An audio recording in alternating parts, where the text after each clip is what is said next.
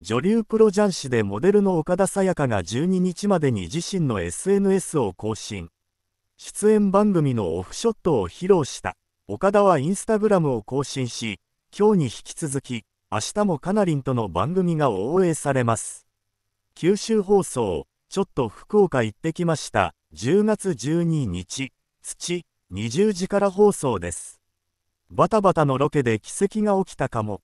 突釣り、元乃木坂46のメンバーで、プロ雀士としても活躍するタレントの中田かなとの自撮りツーショットをアップ。